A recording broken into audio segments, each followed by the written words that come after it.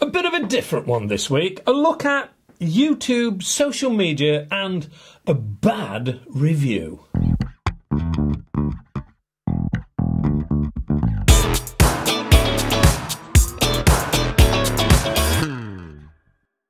Hello and welcome to AAR On Air. Social media. Hmm. You know, I must be one of the few people on the planet who doesn't feel the need to live my life on Facebook.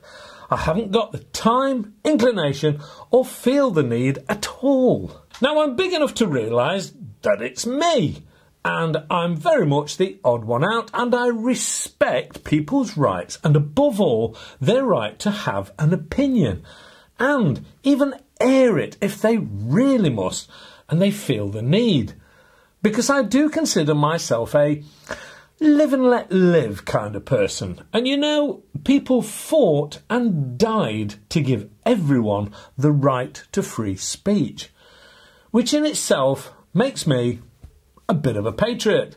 Again, my choice. I also run this YouTube channel, so I can hardly claim to not being a user of social media albeit in a non Facebook type format.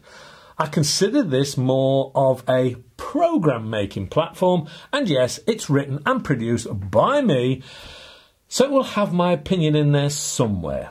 Even though I do try to keep it balanced, and I do also take in and try to accommodate other people's opinions too. But I also understand you can never please all of the people all of the time. So again, I understand and respect that. Now, name calling, profanity, and trolls. No. No. They're not allowed in there because that doesn't fit, not on a channel that has a percentage of under 18s tuning in to watch. Sure, they probably hear far worse from school and sadly, in some cases, even from their home environment. But that doesn't make it right. Again, not in my opinion. I do take the role of producer of this channel very seriously which is probably hard to understand when I consider AAR on air to be not only a gun review channel, but hopefully somewhere along the lines entertaining too. To add a change and maybe involve others in the family to encourage them into our sport. The whole team consider themselves ambassadors for the sport and the industry for that matter, and with that role comes responsibilities. And some in the industry may not like it, which again, these responsibilities are taken seriously with an element of fun thrown in for good measure. I get a few comments from viewers and even from the odd individual from within the industry who really should know better along the lines of, why don't you verbally trash a gun or product? Why don't you swear to emphasize? You never say something is rubbish. Not all the guns you review can be good. Okay, okay. Let's just take a moment to look at that, shall we? I'm sure there are a lot of people out there who were brought up in a family environment such as mine and the environment that I was brought up in. And we were taught things like if you can't say something good about someone, and I can hear you saying the rest, then don't say anything at all. Advice that I also passed on to my children and will continue to pass it on to my grandchildren. And getting hold of a budget gun with the sole intention of calling it and pointing it out to be rubbish with a heavy, non adjustable trigger and plasticky will surely get you some thumbs up from some hate seeking individuals out there. And it turns you into one of the things that you come to loathe and pity as a YouTube content provider. The uneducated uncaring, unworthy troll. You see, if I'm reviewing a gun, I review it as a stand-alone item, and I am mindful of the category it fits into and the individuals who are likely to want to buy it. For example, if I'm reviewing a £100 budget gun, I'm not expecting it to have a fully adjustable match grade trigger with a walnut Minelli stock and a cold hammer forged barrel and the quietest Huggett silencer built into it, along with a hard case and two spare magazines. It's more likely to be a bit heavy on the trigger with a plastic stock, maybe a reasonable rifle barrel, and it's likely to be a little loud, maybe. Single shot, and it's going to come in a brown cardboard box. But you know what? If it's fun to use, reasonably accurate, and gets the rest of the family involved, or gets rid of that rat you have at the bottom of the garden that's been annoying the missus, then surely trashing it because it isn't as good as your laminated stock Weihrauch isn't a fair and reasonable approach to the review. Moreover, you have to compare it to such as a gun 10 times the price because someone out there is thinking it's going to be up to that standard, then it's likely to appear patronising. So, a cheap gun is reviewed as a cheap gun. And if there are a few surprises along the way for a gun in that price category, then that is surely worth a mention. You know, not all people can afford the latest offering from the high end manufacturers, and trashing the mid to low price guns because you're comparing them to a high end gun is not a best practice and leaves the people with less money available either feeling like one of life's losers thanks to a condescending review or comment for that matter around the gun that they've just bought or feeling that they should perhaps leave the sport alone because it's just full of toffee-nosed plebiscital individuals who are going to look down at them rather than encourage them into a welcoming community. You know, we all have to start somewhere.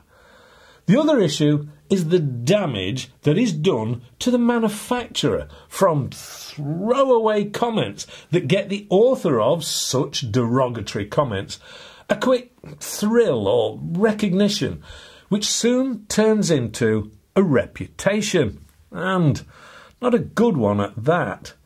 That doesn't mean if I get a gun that is utter garbage, you give it a glowing review. Far from it. The first thing I do is contact the manufacturer and either give them some feedback to enable them to improve their gun or for them to accept they have sent a bad one out that isn't up to their expected standard and that they need to get it sorted before a review is published.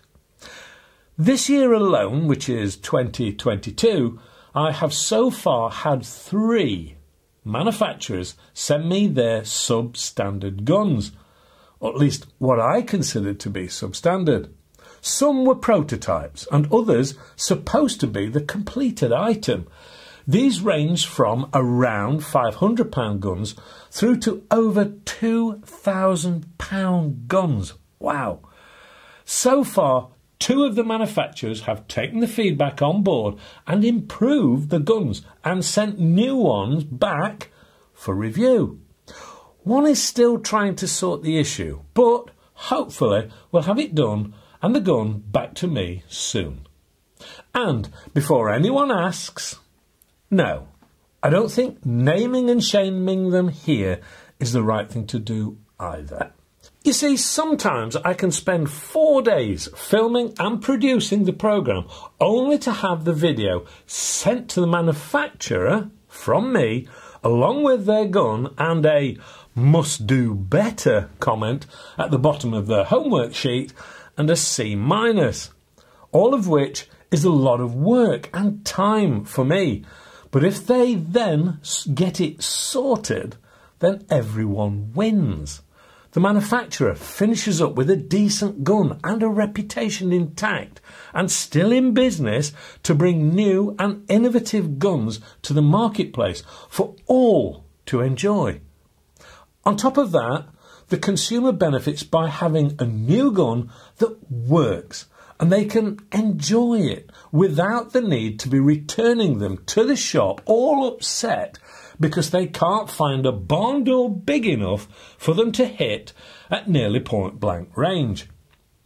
Hopefully, you're starting to see my logic and hopefully realise my concern and care for the whole shooting community, manufacturers and consumers. So, I could be one of those quick thrill and name calling individuals who seem to trash things just because they can and they've got a platform, and then, not surprisingly, find companies don't want to supply them or deal with them anymore, which then stops me giving quality feedback that can make a difference to that community as a whole. That type of individual will still attract a following, but that has happened throughout history in all walks of life and will probably continue to do so, I'm sure. Now, I do hope this has been taken as an explanation of how the AAR team works and the approach that is taken here. It was simply intended to answer the genuine people who have asked questions. Do I like all the guns I review? No, not necessarily. But I could trash a gun because I don't like it, maybe because it's a military style gun, and I personally prefer wooden guns and traditional style. But that wouldn't make me right. It would simply be my preference and could be taken wrongly that I think the gun is rubbish. And that wouldn't be fair or correct. So I try to see it from the perspective of the individual who is likely to be attracted to that style of gun. Do I use a teleprompter? Yes. When I'm in the studio, I do. Because it's more professional and is simply a better way of creating a seamless show without ums and mm and lots of you knows the content, however, is all written by me prior to the filming and after using, shooting, and reviewing the gun in question. I suppose the next question is Do I work closely with manufacturers? Some, yes. I'm happy to work closely with most all of them and hopefully provide positive feedback to help the end consumer but some manufacturers want to get involved with AAR more than others. Maybe the format doesn't suit all of them. Who knows? All of which is done on a non sponsored or remunerated basis. I enjoy what I do and I get a bit of a kick out of hearing people comment about how the channel has got them back into shooting after years or how they became new into the sport and are really enjoying it. Occasionally, I can be seen creating havoc down at Vector Air when they are short staffed, and they've been daft enough to ask me to come in and help out. And the feedback and comments I get from the guys and girls who come in is wonderful, and I try to take the suggestions on board wherever I can. It's a great environment. It's great fun and friendly with lots of coffee being drunk. And the time simply flies by when I'm there. Well, after saying all that little lot, it's time to review a gun and rip it apart. AAR style. This week's Hofring is a hard, basic plastic with a terrible trigger. The barrel is plastic and it's about as accurate over 10 metres as Stevie Wonder in a Pro Am World Darts tournament. And guess what? I love it. And you're going to want one. It is a Bug-A-Salt and it's purely made for hunting. Shall we do the walk around just for fun? Well, as I've said, it is all plastic and comes in two styles black and grey and black and yellow. It is 54 centimetres or 21 and a quarter inches long and tips the scales at 660 grams or one pound seven ounce. And the balance into the shoulder is rubbish. The trigger isn't two stage and it's short and more on off than a smooth action. The front sight is open and the rear sight is not even adjustable. Heck, it doesn't even appear until you rack this little baby. Uh, this piece of plastic rubbish. It comes in two calibers, 2.5 and 3. Whatever that means. And yet, it takes the same size ammunition. It doesn't have any spare mags in the box and can only be filled from the top of the gun. The amount of rounds per fill up? I have no idea. You can't even buy the ammo at your local gun shop. You need to get yourself down the supermarket. Putting it over the chrono is completely inconclusive. Blimey, this is going to give air gunning a bad name. So, why is it so good? And why do you want one? Because this little beauty is going to sort out your flying and crawling insect problem and your Friday night fish and chips all at the same time. You see, you load this up with normal table salt and cock it with the shotgun style grip, then take aim with your automatically raised rear sight and fire away. Ho ho! Dispatching those unwanted blue bottles with ease and leaving only a trace of salt to keep the ghosts and ghoulies at bay, or adding a portion to your Friday night fish and chips. Does it work? yes, it does, undoubtedly. It is an assault on bugs, as the double entendre suggests. You need to be reasonably close, but if you're too close, it will demolish some lighter framed insects. The black one is suitable for trying to catch them in flight if you think you're good enough. And the yellow one well, that option is more of a get 'em while they're down sort of action. It doesn't actually leave masses of salt everywhere. It does, in fact, use it quite sparingly. And no, I'm not going to fire it at anyone to see if it hurts. I'll leave that up to some other individuals to do after they've loaded themselves up with a few lemonades. Will it annoy the missus? Well, that depends if she gets a go or not. The kids will love it, and you may well have more salt around than you would like if left up to them. There are no chemicals involved, other than sodium, I suppose. And if it gets on your food, unlike fly spray, it won't hurt you and will probably save you the effort of using the salt shaker. Anyway, is it fun? Yes. Is it going to cost you as much as a Weihrauch? No. You'll need to part with around £40 UK for the black and grey and around £30 for the black and yellow. No CO2s required or pumps or tanks. Has this been a proper airgun review? Probably not. but this channel is about a little more than just airguns. It's about fun for shooters too. Do I like it? Stupid question, really. Hopefully, you've enjoyed this alternative program. If you have, the usual thumbs up helps. Don't worry, normal service will be resumed next week. And then the negative guys can get back out of their holes again. Don't forget to subscribe, share, and click the alarm bell.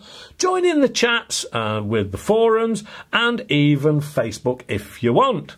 I suppose I should at least have a Facebook account, personally. Mm.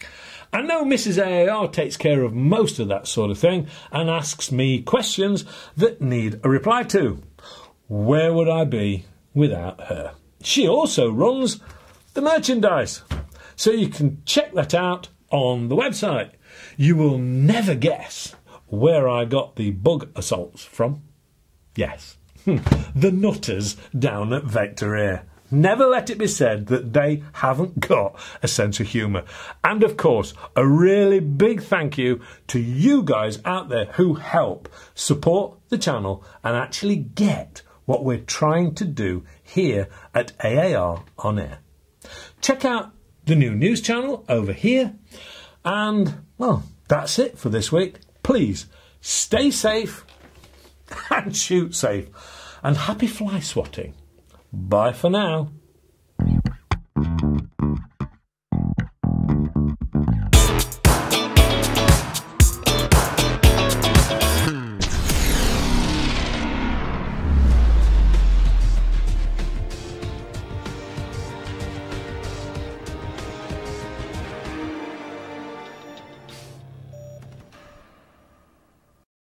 What about the outside test for this? Come on.